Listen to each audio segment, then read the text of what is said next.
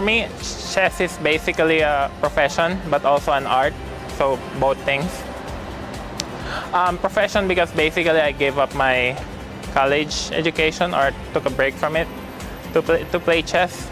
And uh, chess is an art because uh, the players can paint really beautiful paintings and they can make some impressive plays and uh, it, can, it can capture the hearts and the minds of the, of the spectators. So it, it gives beauty and uh, it, you know, usually the most creative chess player wins. And in this case, uh, right now, Magnus.